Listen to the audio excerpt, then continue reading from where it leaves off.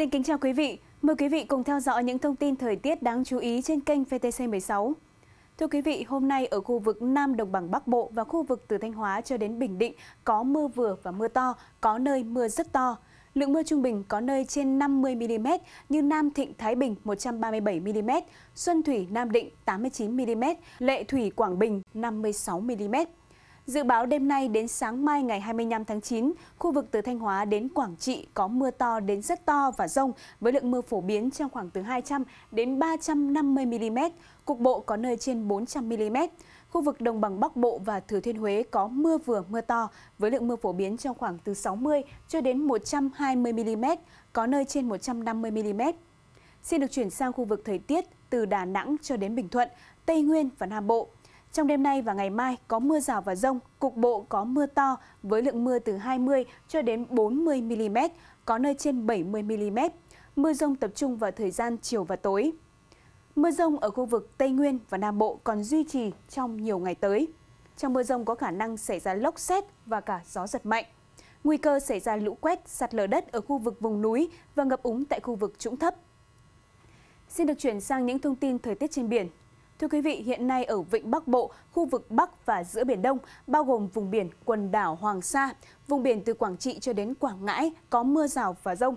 Dự báo trong đêm nay ở Vịnh Bắc Bộ, khu vực Bắc và giữa Biển Đông, bao gồm vùng biển ở quần đảo Hoàng Sa, cùng với đó là vùng biển phía Tây của khu vực Nam Biển Đông, bao gồm vùng biển phía Tây của quần đảo Trường Sa. Vùng biển từ Quảng Trị đến Cà Mau, Cà Mau đến Kiên Giang và Vịnh Thái Lan có mưa rào và rông. Trong mưa rông có khả năng xảy ra lốc xoáy và gió giật mạnh cấp 7, cấp 8. Thời tiết mưa nhiều, độ ẩm cao là điều kiện thuận lợi cho bệnh thán thư trên cây sầu riêng phát sinh và gây hại. Bệnh do nấm gây ra, bệnh thán thư phát sinh mạnh trong điều kiện ẩm độ cao, sương mù nhiều.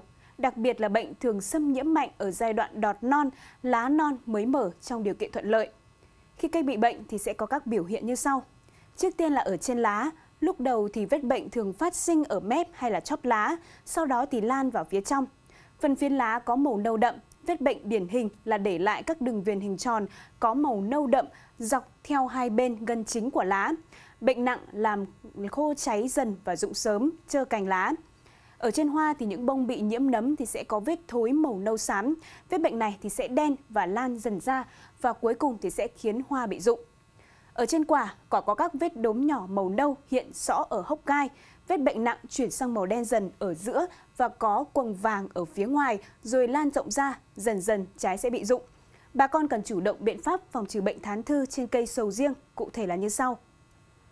Trước tiên thì cần chăm sóc cho cây trồng khỏe mạnh, tưới đủ nước và bón đầy đủ dinh dưỡng cho cây.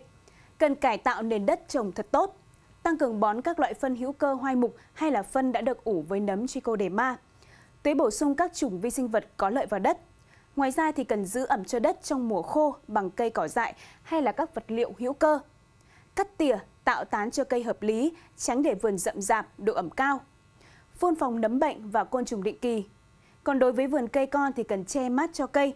Khi phát hiện cây trồng có dấu hiệu mắc bệnh thán thư, bà con cần nhanh chóng thực hiện các việc như sau.